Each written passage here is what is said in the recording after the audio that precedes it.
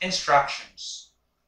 There are 10 problems to be answered, and you only have 5 seconds to answer each question. Identify the kinds of the following angles and choose the letter of the correct answer. Let's get started. Number 1. 110 degrees. Is obtuse angle. It is more than 90 and less than 180. Number 2 is 45 degrees. 45 degrees is acute angle. It is less than 90 degrees. Number 3, 190 degrees. It is reflex angle. It is more than 180 degrees. Number 4, 458 degrees. It is acute angle, letter C. Number 5, 70 degrees.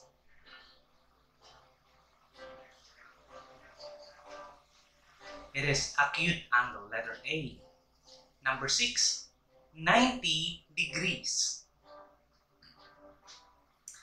It is right angle. It is letter B, right angle. Number 7 is 230 degrees. It is letter D, reflex angle. Number 8, 10 degrees.